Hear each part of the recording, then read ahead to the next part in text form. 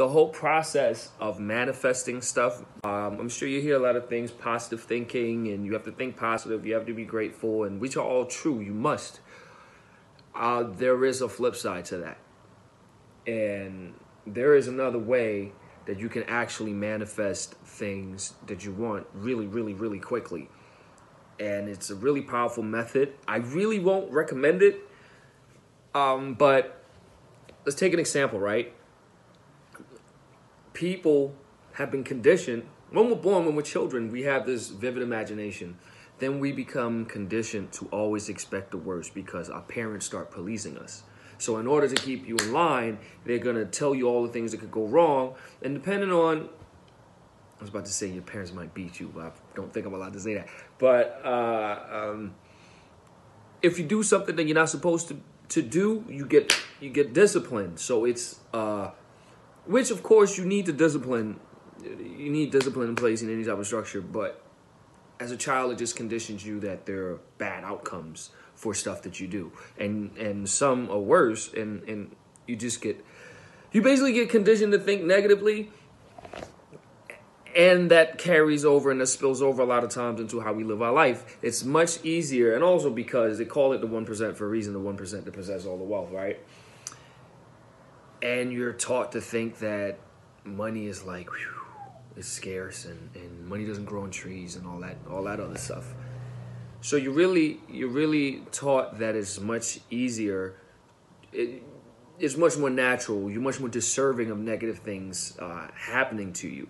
It's much more easier for us to conceptualize. But in the reality, in the vast totality of the universe, manifesting something bad is the same exact process as manifesting something good. Manifest, manifesting something large, something vast is same exact process. It's just a matter of what do you believe, and because we've, we've been a lot of times been conditioned to think small, but it's the same process. And again, that's why if you start setting bigger goals and start thinking bigger, then your baseline of low becomes higher. This goes into my point. Now, if you're really desperate and hungry, I wrote this article and I would recommend that you read it. It's called uh, "Single Most Important Ritual I Do Every Morning." And it shows exactly the, the, formula of how to manifest. And if it doesn't work, I'll bet you right now that it will work. And if, if, if it doesn't work, then you was cheating because it works. So, but anyways, here's a remix of that, another way to really just tap into the way that you do stuff now. But at some point, you might have to fix so you can be grateful and stuff like that. But let me stop. Let me stop being cryptic. So this is the way you do it. So you ever tried this thing where you like you expect bad things to happen, you expect the bill to come, an expense to come, this and that, and it happens. And then sometimes you get into this flow where you just feel as though good things will happen and they just tend to happen, right? Like, and then this is a phrase like "I'm on fire," or to to give a really simple example, if if you're a young man and and let's say in high school or college, and sometimes you have you have stretches where the girls all like you, then you have other stretches where you can't seem to get any attention. One stretcher said, call it being on fire. And it all becomes a self fulfilling prophecy. It triggers a vibration that then feeds itself and it becomes a sustainable cycle. And then now you get more of what you want. It's like a snowball effect, right? Almost like compound interest. Anyways, here goes. Here goes. I don't want to talk too long. If you want to manifest a car, right, that you want to drive, the best way to do it is to think about the car being yours, driving the car, feeling good about being in the car that triggers positive vibration that allows you to attract it to you.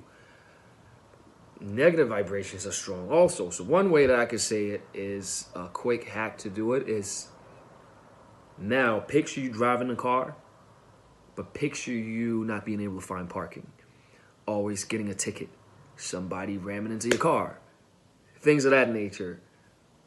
You're gonna have your car, you're gonna have the headaches that come with it but again, because it's much more consistent with what you've been taught and your active and your current vibration at this point in time, or for a lot of people, it is real easy to create that harmony that allows you to attract the car and all the headaches that come with it. You know? And this goes with having a business or any type of thing. If you just start thinking about the flip, this flip sides to anything. It's just a matter of how we perceive them or what our perspective is. If you think about having a business that's doing a million dollars a year, start thinking about barely being able to make a profit. You're gonna have your million dollars.